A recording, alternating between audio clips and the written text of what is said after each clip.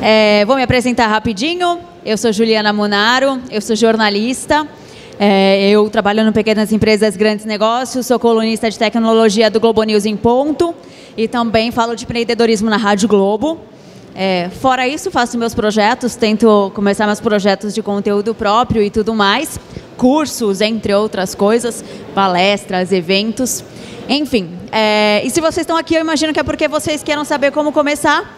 Uh, essa palestra aqui surgiu porque a todo momento eu recebo perguntas desse tipo: como eu começo? Como eu tiro a ideia do papel? Como eu começo? Como começar a empreender para não ter erro? Em rede social, pessoalmente, de toda quanto é forma. É, então, eu acho que isso é uma coisa que sempre gera muita dúvida. E normalmente as pessoas esperam alguma coisa mágica. É, infelizmente, não existe uma fórmula mágica, não existe uma fórmula padrão, mas eu vou tentar aqui fazer um esquema para tentar ajudar que cada um de vocês crie seu próprio sistema para tirar uma ideia do papel. É, primeira coisa que eu quero saber, então, é, todo mundo que está aqui pretende empreender? É, alguém já tem ideia do que quer fazer? Tem alguém que não tem nem a ideia? Beleza. É, eu acho que são pontos de partida diferentes. É, mas uh, o, o princípio de tudo é um pouco o mesmo. Então vamos lá. Uh, ah, Para começar, eu queria conversar com vocês aqui sobre habilidades empreendedoras. Eu acredito muito na ideia de que qualquer pessoa pode ser um empreendedor. A gente normalmente tem aquela ideia, né? Ver aqueles caras de super sucesso que construíram grandes companhias. É, Steve Jobs, o dono da Cacau Show. Você fala, caraca, né? Nunca ser esse cara. Mas qualquer pessoa pode ter sucesso, qualquer pessoa pode começar a ser um empreendedor. É, eu acho que essas cinco habilidades aqui são as principais, é a que eu vejo em todos os empreendedores que eu entrevisto.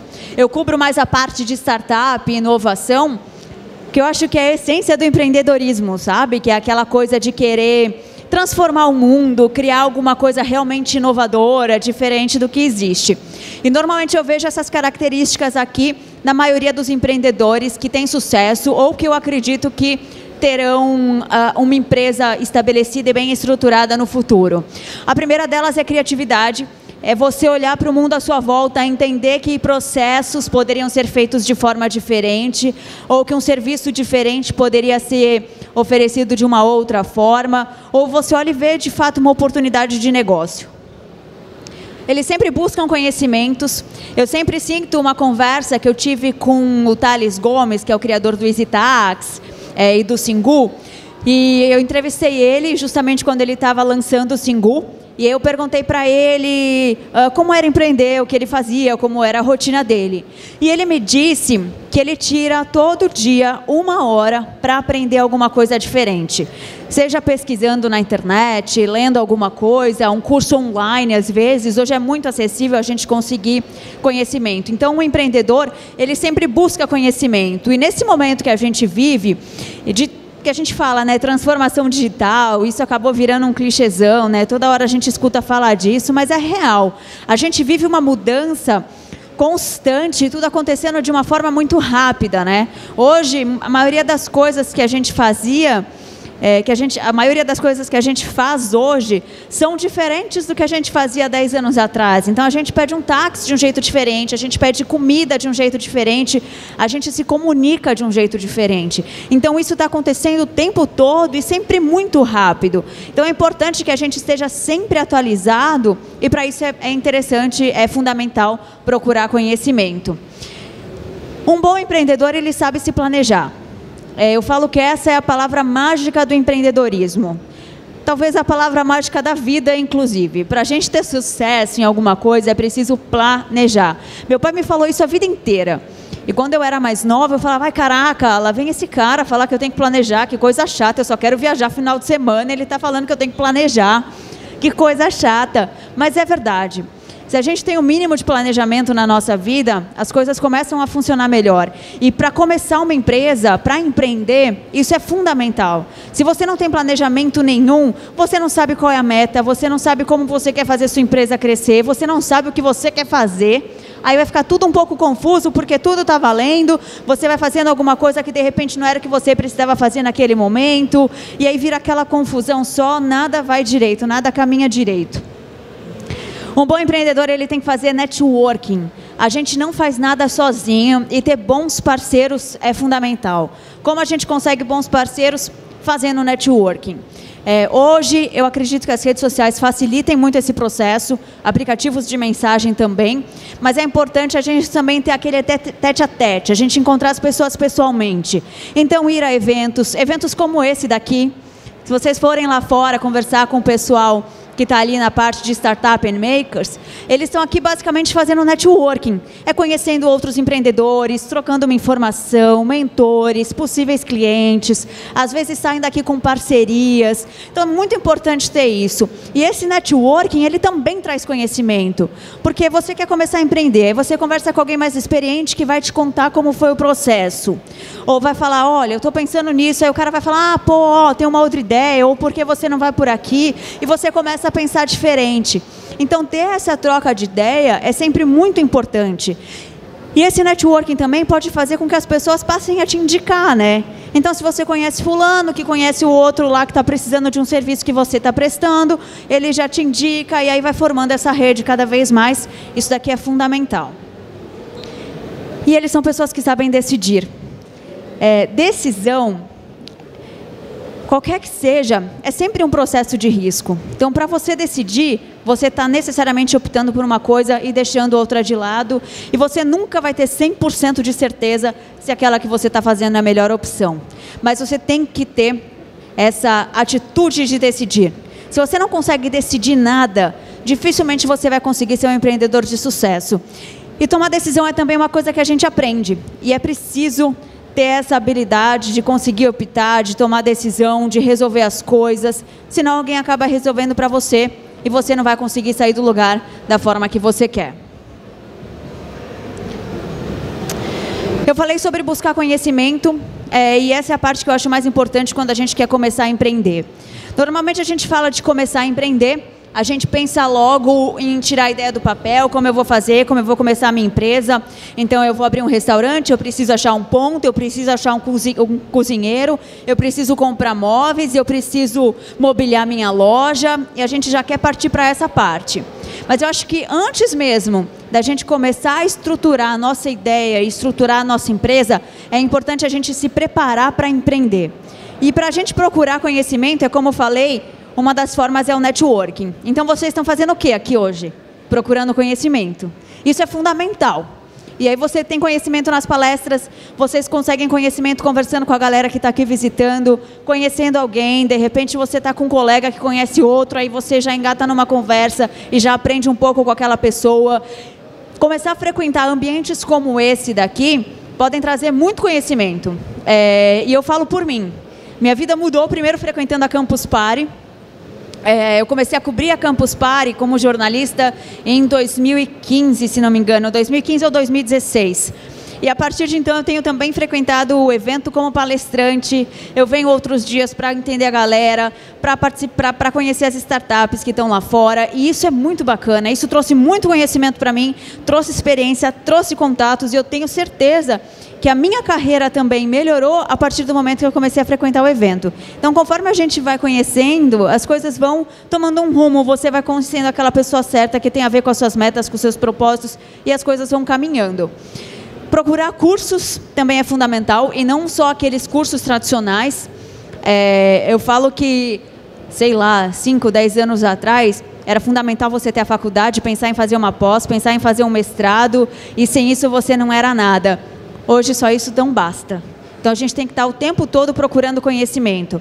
Pode ser curso presencial, curso livre. Eu adoro o curso livre. Porque você não tem aquela obrigação de prova, de TCC e tal, e te dá uma liberdade para você adquirir conhecimento. Então façam cursos livres. Pode ser presencialmente, pode ser online também. Tem várias plataformas, Udemy, Hotmart, eu gosto muito do da escola eles te dão a trilhazinha dos cursos para você fazer, é muito interessante. E aí você pode procurar o conhecimento que for.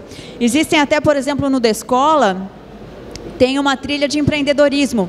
Ele vai te ensinar a fazer plano de negócios, vai te ensinar como administrar um negócio para alimentação. Você escolhe o curso que você quiser ali. Então, se você já tem a ideia do que você quer fazer, você pode ir procurando cursos relacionados a isso. E empreender também é uma série de habilidades. Eu vejo, às vezes, a gente quer empreender, e aí você fala, pô, eu adoro cozinhar, vou abrir um restaurante. Só saber cozinhar não vai fazer o restaurante dar certo. Porque você tem que saber administrar, você vai ter que saber lidar com a equipe, você vai precisar lidar com finanças, você vai ter que entender o mínimo do sistema tributário, que é um caos. Então você começa a precisar ter uma série de conhecimentos desde o momento que você vai abrir a empresa. Você fala, vou abrir meu CNPJ, você vai no escritório de contabilidade, você não sabe o que você quer, você está na mão do contador. Então é interessante, óbvio que a gente não vai se tornar especialista em tudo, mas é interessante saber um pouquinho de cada coisa para você conseguir ir se orientando da melhor forma. Então tem que adquirir esse tipo de conhecimento também. E conteúdo, também é uma forma de conhecimento na internet. A gente tem conteúdo infinito sobre tudo. Tem revista de tudo quanto é jeito sobre empreendedorismo. Tem sites sobre empreendedorismo. Eu acho que YouTube, se você conseguir direcionar, é uma fonte grande de conhecimento também. Tem muita gente que acha que YouTube, acho que talvez o pessoal mais velho, né? Acho que ninguém que está aqui na Campus Party talvez tenha esse conhecimento, mas de que ah, no YouTube só tem entretenimento ou coisas do tipo. Não, você consegue aprender muita coisa. E você pode incluir isso no seu dia a dia, até de forma produtiva. Então, eu estou indo para o trabalho, estou no ônibus, vou assistir alguma coisa, estou no Uber, enfim, fico assistindo alguma coisa. Vou tomar meu banho, coloco lá, fico ouvindo o que o cara do YouTube está falando. Então, isso pode ser interessante até para deixar essa parte de aprender, de conseguir conhecimento de uma forma mais produtiva.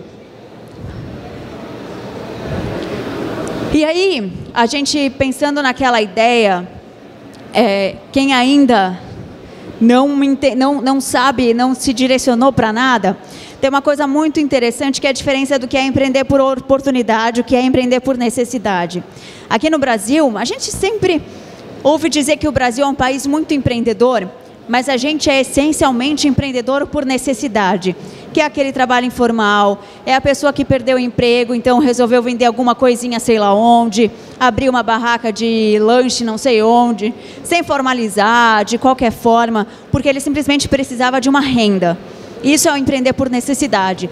Empreender por oportunidade é você olhar para a sua realidade, olhar para o mundo à sua volta, entender o que ali é uma oportunidade de negócio, uma oportunidade de investir, conseguir lucrar com aquilo, criar uma empresa e formalizar um negócio.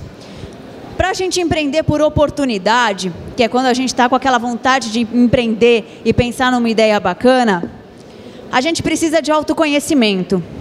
É, eu acho que a jornada empreendedora ela tem que começar com isso. Quem sou eu? o que é importante para mim, quais são os meus valores e o que eu quero para a minha vida. Até de coisas básicas. Então, por exemplo, você é super família e você quer os finais de semana livres para você ficar com a sua família, com o seu filho. Você vai abrir uma pizzaria? Não vai. A pizzaria vai funcionar final de semana, obrigatoriamente. Dificilmente as pessoas comem pizza de segunda a sexta-feira. Então você vai ter que trabalhar também final de semana, onde é o maior fluxo de uma pizzaria. Não vai abrir uma pizzaria se você quer o final de semana livre. Você ou um bar que seja.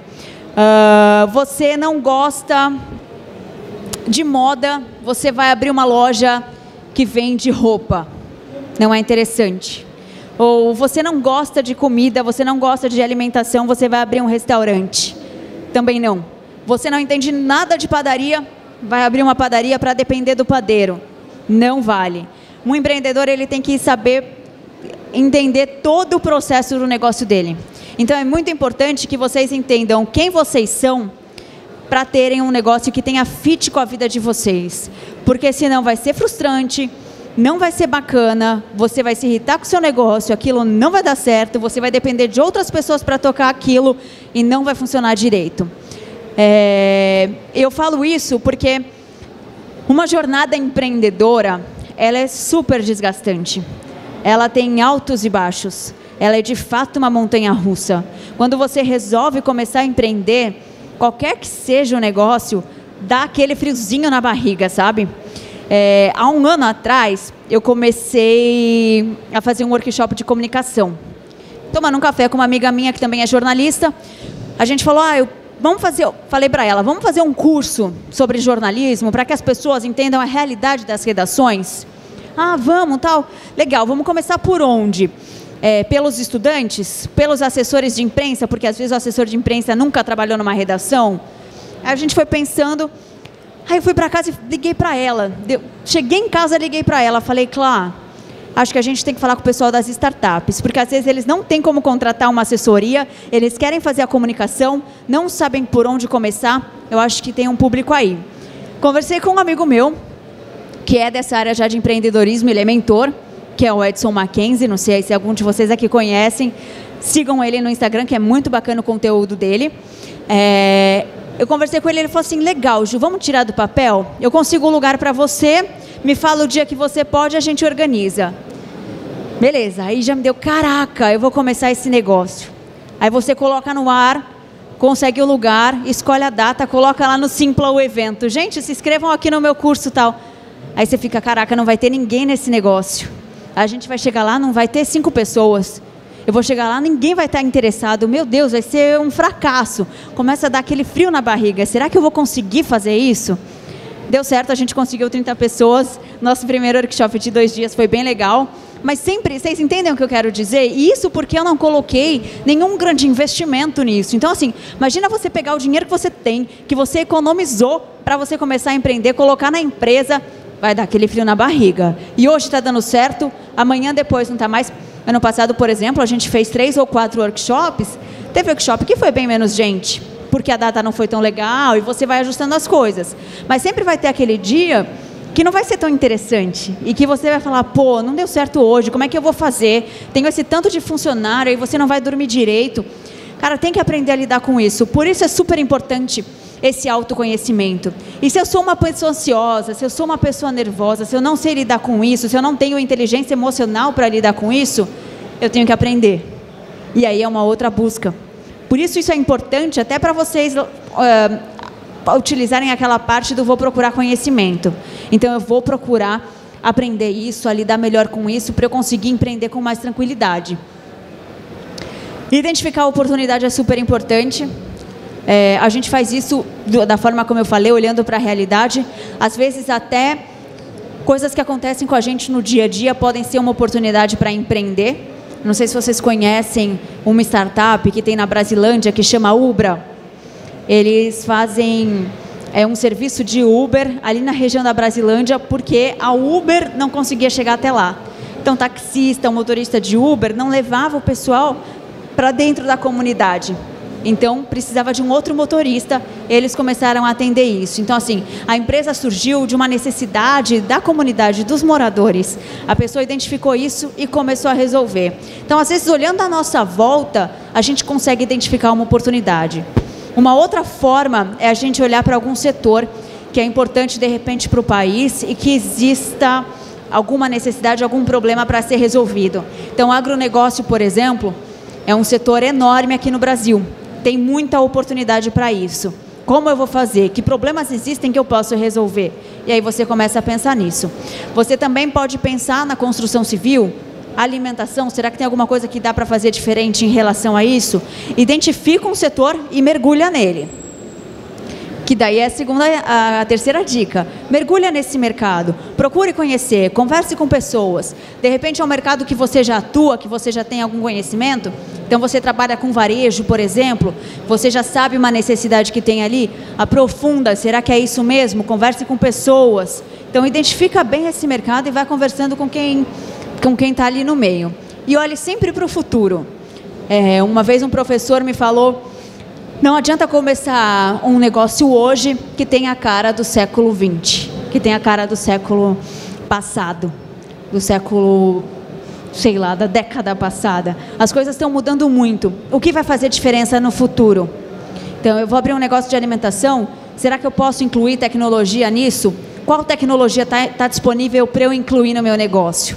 Então, tem sempre que pensar olhando para o futuro, o meu negócio ele vai fazer diferença daqui 5 anos, daqui 10 anos? Minha empresa ainda vai estar sobrevivendo? Olhe sempre para frente. E aí eu queria falar para vocês um passo a passo. Então vocês já estão ali com a ideia, já se aprofundaram no mercado, já sabem mais ou menos o que querem fazer. Mas é o seguinte, como eu falei no começo, eu acho que não existe regra. As pessoas muitas vezes me perguntam como começar, e elas me perguntam isso porque elas têm medo ah, da falha, medo de errar. Errar faz parte do processo, de qualquer processo na vida. Se a gente pensar, tudo que a gente aprendeu na vida, a gente aprendeu porque a gente foi errando. Então a gente aprendeu a andar errando porque a gente caiu o tempo todo, a gente aprendeu a falar errando porque quando a gente era nenê, a gente falava tudo errado, a gente aprendeu a ler errando, alguém corrigia a gente quando a gente lia errado. Então a gente foi sempre aprendendo com algum erro. E é fundamental errar para conseguir aprender. O importante é a gente conseguir olhar. Ver, é, é, o ideal é a gente identificar a falha, aprender com ela rápido e seguir em frente. Mas sempre vai existir falha. Então, assim, se você tem muito medo de errar, é bom você se preparar e passar por toda essa jornada que eu falei até aqui, porque isso vai dar um pouco de segurança. Mas sempre vai ter o risco da falha. E não existe é, um passo a passo mágico. Por isso, esse passo a passo que eu vou falar aqui para vocês é sem regra. Não tem regra. Cada negócio vai ser um negócio, cada startup vai ser uma startup, cada setor é um setor. Então as coisas podem se adaptar. Eu tentei criar aqui uma lógica usando coisas que eu aprendi com professores, com mentores, coisas que eu apliquei, métodos que já existem, para a gente tentar um mapeamento e a partir disso a gente adaptar para cada modelo de negócio. Porque só assim vai funcionar bem. Então, assim, não entendam isso como regra, como definitivo. As coisas podem ser adaptadas. A primeira coisa, então, é ter a ideia. E aí, quem já tem a ideia, tem a ideia. Quem não tem, vai fazer aquilo que eu falei: pesquisar um mercado, se aprofundar nele, entender o problema que pode ser resolvido. Depois da ideia, a gente tem esse esquema aqui. A primeira coisa é identificar lá em cima qual é o problema. Então você vai pesquisar, você identificou o setor, você vai entender quais problemas existem ali que precisam ser resolvidos. E será que esse problema realmente existe? Ele é de fato um problema para aquele setor e algo que é realmente uma necessidade e que as pessoas querem resolver e vão pagar para resolver? Vão pagar por um serviço que resolva? E aí é fazer a pesquisa e desenvolver essa ideia. Fazer a pesquisa é conversar com as pessoas. E aí entra um outro dilema e um paradigma que a gente tem que quebrar. Aqui no Brasil a gente tem muito receio de compartilhar. Eu recebo o tempo todo mensagem de gente falando: olha, eu tive tal ideia de aplicativo, só que eu não entendo de tecnologia, vou precisar procurar um desenvolvedor. Mas eu tenho medo de contar para ele minha ideia, ele roubar minha ideia. Ou, ah, mas eu vou compartilhar, vou falar para a pessoa, ela vai querer roubar a minha ideia. Cara, nenhuma ideia é tão genial, nenhuma ideia é tão incrível que não tenha sido produzida antes ou que não tenha nada parecido antes. E só a ideia não serve de nada. O que importa é a execução do que você vai fazer. A execução da sua empresa. O que importa é executar melhor do que o outro. Então, se o outro vai roubar a sua ideia, pouco importa, porque você vai executar melhor que ele. E isso é o importante. Então compartilhe, porque só compartilhando a gente vai conseguir entender se aquilo realmente é um problema, se não é um problema, se aquela pessoa quer essa solução para a vida dela e como ela quer essa solução. Vocês lembram lá no começo que eu falei do workshop? A primeira coisa que eu fiz foi conversar com uma pessoa que estava envolvida no ecossistema empreendedor porque eu queria entender se realmente aquilo era uma necessidade, o que ele achava daquilo. E no fim, até arrumei um parceiro porque ele me ajudou a tirar a ideia do papel. Se não fosse ele, provavelmente eu não, não teria começado esse workshop dessa maneira, a gente não teria tido sucesso na primeira execução. Então, assim, compartilhar é fundamental. E aí é desenvolver essa ideia e procurar as pessoas, então, Validado o problema, você foi lá e conversou com as pessoas do setor e entendeu que aquilo realmente existe, que o problema que você identificou é real e que as pessoas querem uma solução para aquilo. Aí você vai criar a sua solução. Para isso é fazer um brainstorm. Você vai sentar e entender da melhor forma que aquele problema pode ser resolvido. Aqui pode ser usada aquela técnica que a gente ouve falar muito hoje, que é o design thinking, que é justamente isso. Eu vou me colocar no lugar do meu cliente, entender qual a necessidade dele e como resolver aquele problema. Cara, nessa parte não se preocupe se aquela sua ideia parece burra, se você acha que ela é besteira, ai meu Deus, não estou sendo inteligente o suficiente. Simplesmente anote. A ideia mais esdrúxula, de repente pode ser que faça sentido. Então anota toda a ideia que você tiver. Se você já tiver uma equipe aqui, tiver um sócio, ainda melhor, porque uma cabeça, porque várias cabeças pensam melhor que uma, certo? Então faça esse brainstorming, anota tudo e aí depois você vai fazer o filtro qual ideia realmente faz sentido para o mercado, qual ideia faz sentido para o cliente. Você faz esse filtro, conversa com pessoas, novamente, entenda se ela faz sentido e você constrói o seu MVP. MVP, eu não sei se aqui todo mundo sabe, é o mínimo produto viável, é uma técnica que as startups utilizam muito, que é a construção de um produto usando menos tempo que você puder, menos grana que você puder investindo o mínimo possível tempo, dinheiro, vontade, força, o que seja, para construir aquilo de uma forma minimamente viável, para que o seu cliente entenda o que você tem para oferecer, mas que você não tenha gastado uma fortuna, porque aqui você ainda está validando a sua ideia. Construiu isso, é testar de novo. Então você vai conversar novamente com as pessoas, você vai mostrar novamente o que você tem a oferecer e aí a pessoa já vai ter o produto na mão ou o serviço na mão e você vai falando com cada um o que eles têm a entender, o que eles têm a dizer sobre o seu produto e você vai fazer adaptações. Você vai entender do retorno que eles te deram, o que faz sentido para o seu produto, se tem como fazer o que eles querem, como executar da melhor maneira para atendê-los. Feitas essas adaptações, o produto está pronto para o mercado. Pode ser que aqui vocês achem que acabou tudo, estou feito, estou livre, estou com meu produto, vai rendendo, vou ganhar grana, vou conseguir cliente, vou conquistar o mundo, mas ainda tem muita coisa para acontecer. Além de conquistar seu cliente, você o tempo todo vai precisar pensar em inovação, então você vai ter que fazer análises do que está acontecendo, você vai ter que fazer pesquisas e aí você vai ter que fazer melhoria no seu produto. Você nunca pode acreditar que o seu produto está fechado para o mercado.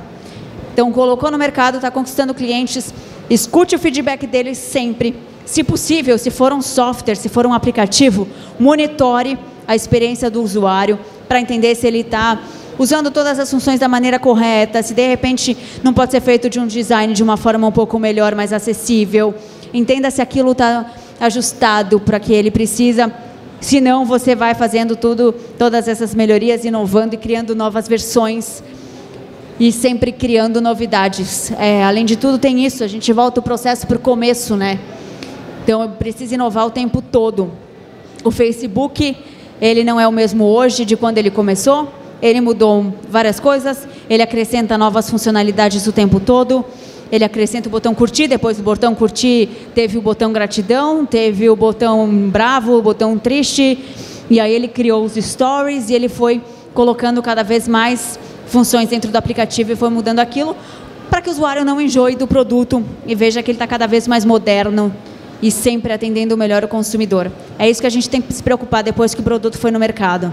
É, eu espero que isso tenha ajudado vocês. E aí é o seguinte, é importante nesse processo todo, não se prender à ideia inicial, que serve já para aquela ideia de achar que eu sou extremamente genial e que alguém vai querer roubar minha ideia a ideia não é nada, às vezes aquela ideia inicial não é exatamente o que faz sentido para o mercado. Então, você escutar o que o mercado quer e adaptar a sua ideia é fundamental para ter sucesso. Saber ouvir tem a ver com essa parte também, não se prender à ideia inicial, então saiba ouvir.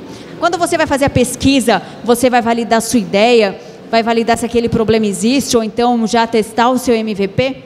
Você tem que ouvir o que as pessoas têm a dizer da forma mais neutra possível e aí a quarta dica, não faça julgamentos. Tem que ser neutro. Você tem que ouvir o que aquela pessoa tem a dizer. Você tem que saber perguntar. Você não pode perguntar induzindo a resposta. Você perguntar, ah, fulano, olha aqui o que você acha desse produto. Ou, ah, fulano, se tivesse tal coisa, assim, tal coisa, você pagaria? Talvez a primeira da resp a resposta das pessoas já seja sim. Ou às vezes ela queira te agradar, então cuidado para quem você vai perguntar também. Tente perguntar para as pessoas que não têm um envolvimento emocional com você. Então, assim, cuidado quando for testar a ideia, para você já não estar tá direcionando ela para o que você quer ouvir. Eu acho que a minha ideia é tão bacana, pô, todo mundo tem que achar, você já vai induzindo ali a resposta para aquilo. Tem que tomar cuidado com isso. E sem achismo, gente. A gente tem muito hábito de olhar para o mundo e falar, ah, eu acho que é desse jeito, beleza, vou lá e faço desse jeito. Sabe? Então, por exemplo, e aí, e aí tem aquelas ideias, né, que parecem é, mover o mundo, né? É isso e pronto, está estabelecido. Então, você escuta das pessoas, ah, todo mundo precisa comer, então eu vou abrir um restaurante. Né? Ninguém vai parar de comer, todo mundo vai precisar se alimentar o tempo todo. Vou abrir um restaurante. Espera lá, não é bem assim. Isso é um achismo. Então, restaurante tem que ter movimento sempre porque as pessoas precisam comer. Não é verdade. A gente pode comer em casa, a gente pode comer na casa da mãe, na casa da sogra, do amigo, eu não preciso comer fora. Então, você acreditar que abrir um restaurante porque as pessoas comem pode ser interessante é um achismo. Será que realmente é assim? Tem que validar aquela sua ideia. Ou às vezes acha que uma coisa resolveria tanta vida para a gente, né? Putz, se eu tivesse um aplicativo tal ia facilitar a minha vida. Para você. Será que realmente isso ia facilitar para todo mundo? Né? Então, assim, vamos pensar nisso, sem achismos, vamos continuar. E tem uma coisa que eu acho que é fundamental, gente, é, que eu percebo é, em todos os empreendedores que eu já entrevistei que têm sucesso, que é ter um propósito claro. Eu acho que essa palavra virou um clichêzão, mas eu gosto demais dessa palavra porque ela faz sentido para tudo. Tenha um propósito com seu negócio, entenda qual é o seu propósito. Eu não estou falando aqui necessariamente em gerar impacto social. Eu estou falando de entender o que a sua empresa faz e os benefícios que você quer trazer e o que você quer mudar no mundo e na realidade para ajudar as pessoas. Porque necessariamente você vai estar ajudando alguém, né? Se você constrói um app para chamar táxi, você está ajudando alguém a pegar um táxi de uma forma melhor. Se você constrói uma plataforma para as pessoas se comunicarem, você está ajudando elas a se comunicarem. Então, é, tenha muito claro essa ideia e tenha ela clara desde o início porque isso vai ajudar você a guiar a sua empresa, você a definir suas metas, você guiar o seu caminho. E você tendo esse propósito, que tem a ver, obviamente, com o seu valor, isso vai ajudar com que você é, consiga ter prazer no seu negócio, porque, como eu falei, empreender é difícil, empreender não é fácil. Empreender aqui no Brasil, então, é super complicado, porque o sistema tributário é, é, terrível, você não entende nada. Você tem crise financeira, e de repente você abre um restaurante, vem a enchente, acaba com tudo. Aconteceu isso lá no Rio, inclusive. A pessoa abriu um negócio há 15 dias, veio a enchente, levou tudo, acabou tudo, não vou conseguir, porque não tem luz e tal, não sei o quê, como eu vou fazer? Então, assim, se você tem o seu propósito, você sabe por que você quer fazer aquilo, você sabe por que você quer continuar, você vai ter força para isso, né? Então, lembre dessa palavra quando você for pensar na ideia que você tem, que você for decidir um mercado onde você quer atuar. Pense se isso tem a ver com o seu propósito, com o seu propósito de vida. Se for assim, eu juro que as coisas vão ficar um pouquinho mais fáceis. É, gente, faltam 15 minutos, eu queria já abrir para perguntas. É, vamos lá, vocês têm perguntas? Ninguém? Deixa só ela trazer o microfone. Eu vou deixar aqui. Ah, gente, ó. Esse livro a gente lançou faz uns dois anos, um ano e meio talvez. É, fui eu, Flávia Gamonari e Glauter Januzzi. A gente fala de carreira, de empreendedorismo, transformação digital. Então aqui tem várias dicas, tem algumas coisas relacionadas com o que eu falei hoje. Está à venda no site da editora, que é a editora Reflexão. Então, se vocês tiverem interesse, é esse. E aqui estão alguns dos meus contatos, maquideia.com.br é a plataforma que eu estou querendo construir, estou começando agora.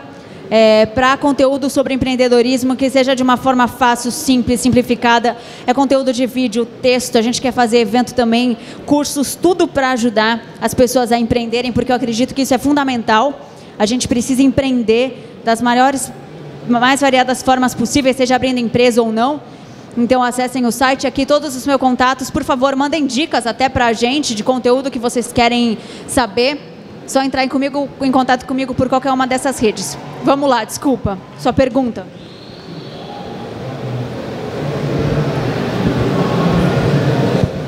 É, na verdade, você leu a minha mente, que eu ia te perguntar justamente do teu projeto e como que você tinha começado ele. Desculpa, pode falar. Eu não consegui ouvir porque o fez um eco. É, não, é que você leu a minha mente, é que era justamente isso que eu ia ah, perguntar. o contato? So, ah, não, não? Não, sobre o seu projeto, entendeu? Ah, entendi. E eu tô com um projeto parecido também, só que na área de desenvolvimento pessoal. Ah, que legal. Então quero fazer vídeos, conteúdo. quero fazer conteúdo, uhum. inclusive já tem alguns parceiros em outras cidades, né? Porque eu, eu tô morando em Ribeirão agora, 35 ah, dias. Né? Ribeirão Preto? Ribeirão Preto. Que legal. É Beirão que eles falam, né? Que é quente pra caramba. E você é daqui de São Paulo? Eu fui criado em Curitiba, sou carioca. Ah, putz, deve estar estranhando pra caramba o calor então. Tá bem ruim. Minha mão tá seca, meu Deus do céu, é um inferno lá. Mas, enfim, era só isso que eu queria falar mesmo e de alguma forma vamos manter contato para pegar algumas ideias para quem sabe legal, tocar legal. o projeto. Legal. Eu morei em Ribeirão Preto dois anos, trabalhei lá na EPTV. Ah, legal. É, meu namorado é de lá, é para ele estar tá chegando, inclusive. É o seguinte, um, eu tô com esse projeto, a gente está começando agora. É, eu trabalho no Pequenas Empresas Grandes Negócios há quatro anos, mais ou menos, na Rádio Globo desde o ano passado, assim como na Globo News, falando de tecnologia. É, o livro foi um projeto que eu fiz, né, junto com o Glauter e com a Flávia. E a intenção é, é a gente incentivar o empreendedorismo, sabe? E levar informação. Eu acho que a gente também tem muito conteúdo, mas muitas vezes é algo inspiracional, sabe? Muita inspiração. E acho que às vezes a gente precisa um pouco de realidade, sabe? Então, como eu vou começar? Como eu abro a minha empresa? Qual vai ser a estrutura jurídica? Tantas coisas que a gente precisa para um projeto. É, então, acho importante a gente esclarecer um pouco isso. Acho bacana isso do desenvolvimento pessoal que você quer fazer, porque é algo super importante também e tem a ver com empreendedorismo, né?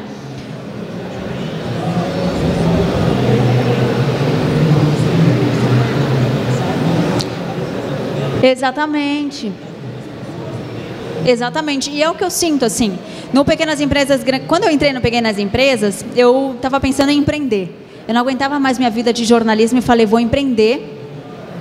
E aí eu saí de Ribeirão, eu estava lá ainda, voltei para São Paulo. E aí a diretora me chamou, ó, oh, estou reestruturando o programa, você não quer fazer parte? Eu falei, caramba, que coincidência, né? Então, assim, ao longo desses quatro anos, cara, eu aprendi tanta coisa, eu conheço tanta gente bacana, tanto empreendedor legal, tanto especialista legal, e eu tenho tanta informação conversando ou entrevistando essas pessoas é interessante a gente poder compartilhar isso, né? Eu acho que é fundamental a gente compartilhar conhecimento. E eu acredito muito que empreender é algo fundamental para a gente conseguir de fato mudar o nosso país, sabe? É só assim que a gente vai conseguir gerar transformação, gerar alguma mudança no mundo. É, então eu quero incentivar o máximo de pessoas a empreender e a conseguir fazer isso certinho sem grandes problemas. Mais alguma pergunta? Alô? Juliana, boa tarde. Meu nome é Bruno, eu sou aqui de São Paulo. A pergunta que eu tenho a fazer é justamente levando em consideração o compartilhamento de ideias que você citou. É, eu, particularmente, ainda não sinto segurança de compartilhar uma ideia assim. Eu já participei de vários hackathons, enfim, eventos onde a gente acaba, por meio do design thinking, desenvolvendo uma ideia a gente sabe como é fácil outra pessoa acabar desenvolvendo dependendo da ideia. Eu queria saber que se além do compartilhamento de ideia, existe algum respaldo legal para que a gente se sinta mais seguro, algo em torno de uma patente ou algo do tipo. Você acha que é muito já avançado? Cara, então existe a patente, né? Mas para você ter uma patente, você precisa já estar tá com o produto desenvolvido. É, então, se você precisa de alguma ajuda para desenvolver o produto, é, você não vai conseguir fazer a patente. Agora, eu acho que é sempre interessante procurar uma. Isso é uma coisa importante na hora de empreender, né? Procurar ajuda. A gente não sabe tudo, então a gente vai precisar de ajuda de determinados profissionais. É, então procura ajuda. Se você tem essa dúvida, de repente procura alguma ajuda jurídica mesmo, sabe? Procura um advogado e tal. Eu acredito que é possível fazer alguma forma de contrato. Então, sei lá, você quer desenvolver um aplicativo e vai precisar fazer uma parceria com um desenvolvedor Faz um contrato com esse desenvolvedor para deixar claro que a ideia é sua e que ele vai desenvolver em conjunto e tal. É, eu acredito que seja possível fazer isso. É, não tem nenhum órgão onde você possa fazer um registro nesse momento da sua ideia tal. Mas acho que esse, é, é, esse contrato talvez seja possível. Agora, a gente não pode ter medo. Eu acho primeiro assim, a gente tem ideia legal, Tente elaborar ela da melhor forma possível antes de você conversar com alguém. Tente se estruturar e até perder esse medo, assim. Tente estruturar sua ideia a ponto de que você fique seguro de compartilhar isso sem ter o medo de que a pessoa vai roubar. E tente fazer isso com pessoas de confiança também, sabe? É, não sei se você conhece alguém que possa te ajudar e que você tenha o mínimo de confiança tal. Mas compartilhar é super importante. É, não tenha medo de compartilhar. De verdade. É, é, é importante. Mais alguém? Opa. É, olá. Eu, ah, oi. É, meu nome é Marco, eu sou estudante de empreendedorismo na UF do, de Niterói. E o, a questão que eu tenho acaba sendo o, o outro lado da moeda. Muitas vezes eu tento ajudar as pessoas e elas acabam ficando com medo de, de compartilhar, de como aceitar. E como você diria que é uma forma para abrir esse caminho, para dar essa brecha para as pessoas?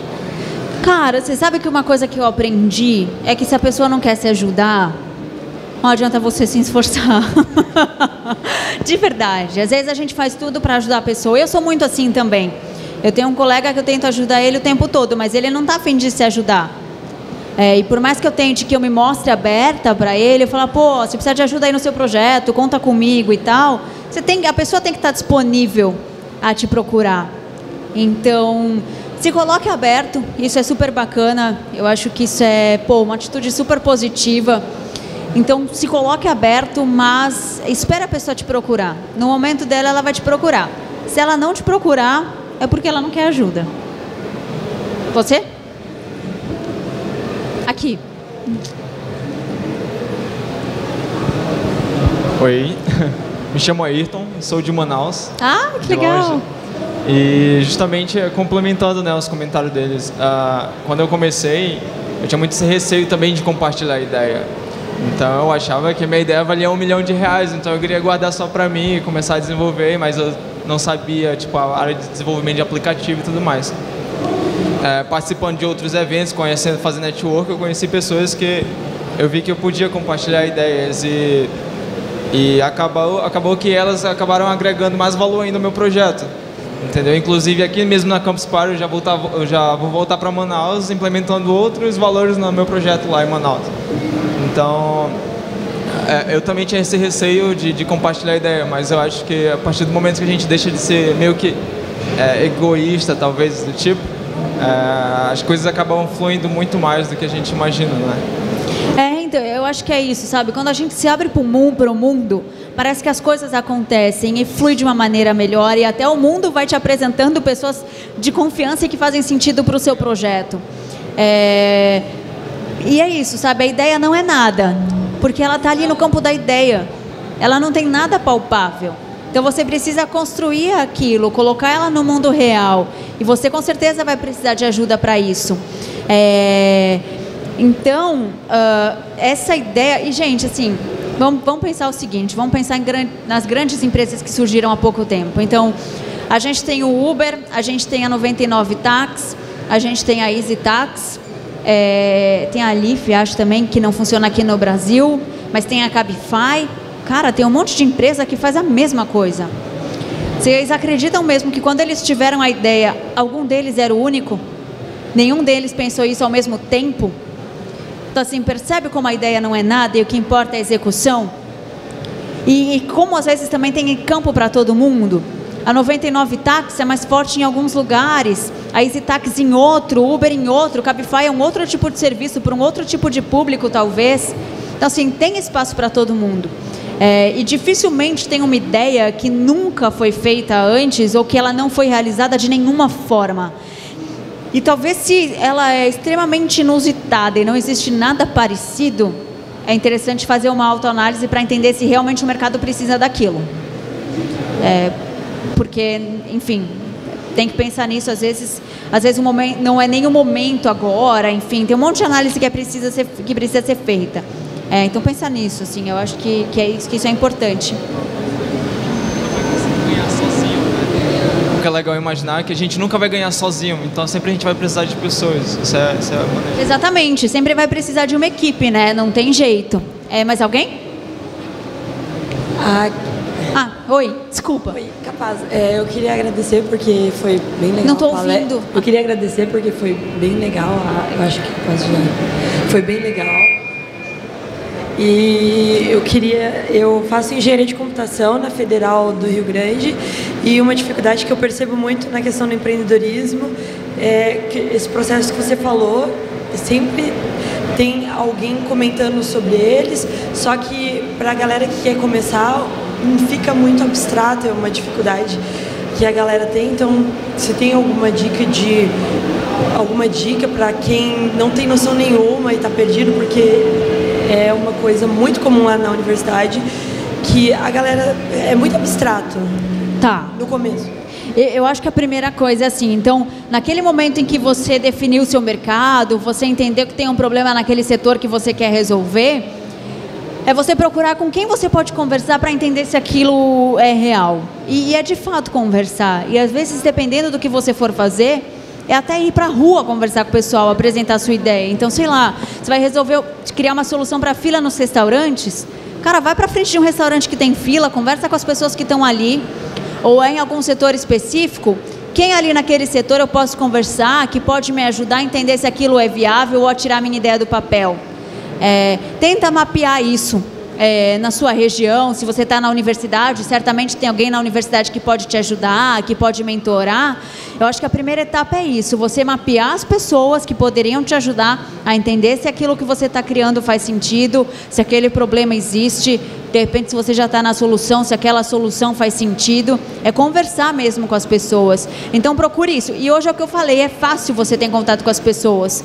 É, procura a pessoa no LinkedIn, manda uma mensagem ou na rede social. É, se aquela pessoa não te respondeu, vai ter uma outra pessoa que vai te responder. Eu acho que a primeira etapa é essa, é conversar com as pessoas para entender aquilo ali, conversar mesmo. Ah, acabou. Gente, vem aqui que a gente conversa. É, muito, muito obrigada. Eu espero ter ajudado. Eu tentei fazer isso da forma mais simples possível para que a gente consiga colocar isso na prática. É, então vamos conversando. Vocês estão aí com o meu contato. Mandem dúvidas, mandem tudo para mim. É, e me acompanhe também, Pequenas Empresas, Rádio Globo, Globo News. A gente vai conversando. Beleza, obrigada.